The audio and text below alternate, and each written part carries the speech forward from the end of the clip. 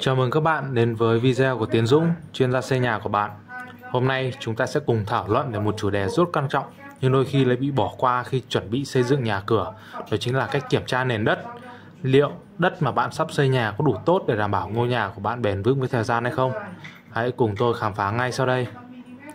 Khi xây nhà, nhiều người thường chú trọng vào thiết kế, vật liệu và các yếu tố phong thủy và quên mất một điều quan trọng là nền đất. Nền đất chính là nền tảng của mọi công trình.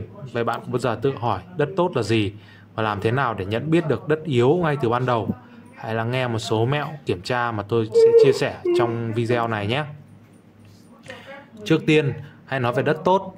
Đất tốt là loại đất của cấu trúc hạt thô, không dính và đặc biệt là thoát nước tốt. Ví dụ như đất cát, đất đỏ hay đất sét pha, cát hạt lớn. Đặc điểm của các loại đất này là chúng có khả năng chịu lực cao, không bị thay đổi nhiều về thể tích khi xây dựng trên đó. Điều này giúp móng nhà của bạn ít bị lún, mang lại độ bền cho công trình. Ngược lại, nếu bạn xây nhà trên đất yếu như đất sét dẻo, đất bùn hoặc đất đất nhão, bùn nhão thì bạn đang đối mặt với nguy cơ lún sụt rất lớn. Đất yếu thường dễ bị trương nở khi gặp nước và có khả năng chịu tải kém. Nếu không cẩn thận, điều này có thể dẫn đến tình trạng nước móng, sụt lún hoặc hỏng hóc công trình về sau. Nhưng các bạn đừng lo lắng quá, nếu phát hiện nền đất yếu, bạn vẫn có thể xử lý bằng cách gia cố móng nhà. Một số giải pháp như sử dụng móng cọc, cọc khoan nhồi hoặc đầm nền chắc chắn trước khi xây sẽ giúp đã tăng độ ổn định cho ngôi nhà. Đây là những kỹ thuật rất phổ biến trong xây dựng hiện đại để đảm bảo công trình vững chắc ngay cả khi nền đất không lý tưởng.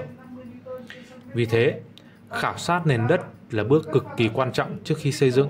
Việc này không chỉ giúp bạn xác định đúng loại đất mà còn giúp đưa ra phương án móng phù hợp nhất. Điều này sẽ giúp bạn tránh được các rủi ro và tiết kiệm chi phí phát sinh trong quá trình thi công của mình.